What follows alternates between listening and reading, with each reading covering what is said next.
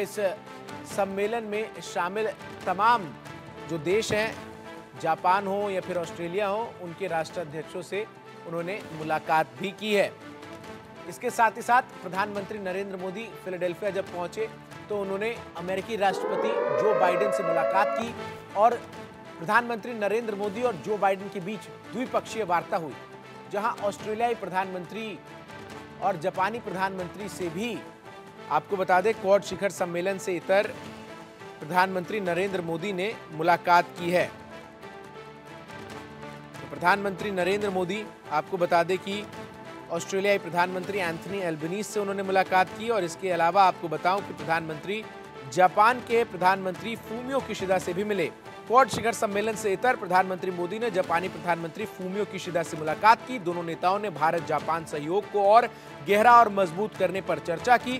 प्रधानमंत्री मोदी ने भारत जापान विशेष रणनीतिक और वैश्विक साझेदारी को आगे बढ़ाने में प्रधानमंत्री किशिदा के नेतृत्व के लिए उन्हें धन्यवाद दिया।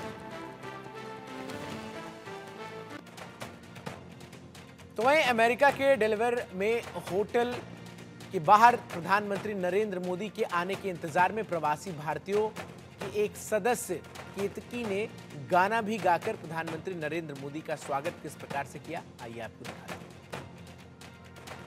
अरे वाला આજની ઘડી તે રડી યામણી જીરે ધન્ય આજની ઘડી તે રડી યામણી હેજી મારો વાલોજી આવ્યાની વધામણી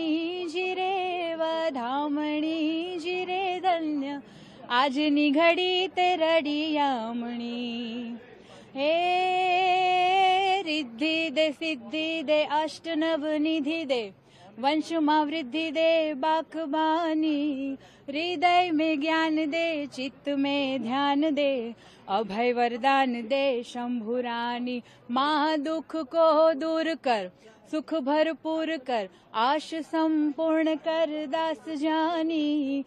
सज्जन सोहित दे कुटुम सो प्रीत दे, झंग माँ जीत दे। माँ भवानी, माँ झंग माँ जीत दे, माँ भवानी। जय जय गरबी गुजरात, भारत माता की जय। तो भारतीय प्रधानमंत्री नरेंद्र मोदी जब डेलवर पहुँचे तो भव्य स्वागत उनका किया गया। एयरपोर्ट पर तमाम जो प्रवासी भारतीय वो प्रधानमंत्री की एक झलक पाने के लिए पहुँचे। साथ ही साथ जिस होटल में प्रधानमंत्री रुके हैं, वहाँ भी प्रधानमंत्री के स्वागत के लिए पहुँचे तमाम जो लोग हैं। लेकिन भारत, अमेरिका, जापान और ऑस्ट्रेलिया, आपको बता दें कि क्वाड के सदस्य हैं और 2007 में इसका गठन हुआ। और साथ ही साथ हिंद प्रशांत क्षेत्र को दबाव मुक्त रखना इसका मकसद है।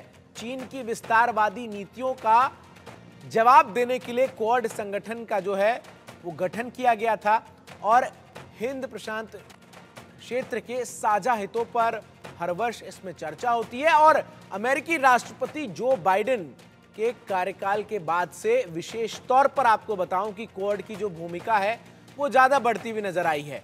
और तमाम जो देश हैं इसके, वो आपस में रणनीतिक और सैन्य साझेदारी पर जो है विशेष ज़ोर देते हुए नज़र आए हैं।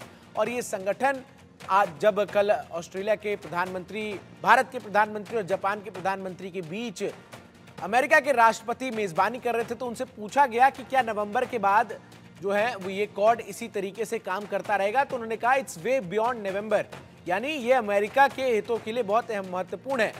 अब आइए आपको बताते हैं कि ये जो क्वाड शिखर सम्मेलन जिसमें प्रधानमंत्री शामिल हुए, इसका एजेंडा था क्या? और आखिर क्यों ये इतना अहम है?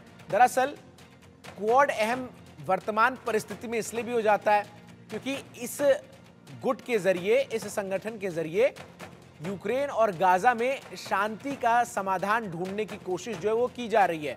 और क्योंकि इसमें वो चार देश हैं जो कि विश्व के सबसे ताकतवर देश है और भारत के प्रधानमंत्री ने जिस तरीके से हाल ही में रूस का दौरा किया, उसके बाद वो यूक्रेन गए और फिर अमेरिका का दौरा, ये जो है कहीं ना कहीं इसे जोड़कर भी आप देख सकते हैं। इसके अलावा ग्लोबल साउथ की चिंताओं को दूर करने की कोशिश भी इस क्वाड शिखर सम्मेलन के एजेंडे का एक हिस्सा रहा।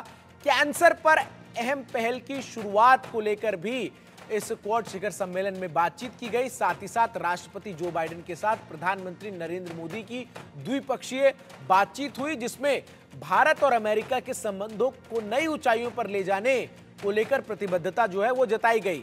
इसके साथ दो अहम समझौते की उम्मीद जो है वो भारत को प्रधानमंत्री नरेंद्र मोदी के इस दौरे से है, जहाँ पहला समझौता हिंद प्रशांत आर्थिक ढांचे पर जो है वो हो सकता है। तो वहीं दूसरा समझौता जो है वो अमेरिका भारत ड्रग्स फ्रेमवर्क पर हो सकता है। तो कहीं ना कहीं इस क्वाड शिखर सम्मेलन के ज़रिए भारत अपने आप को एशिया का जिस तरीके से नेतृत्व करने वाला राष्ट्र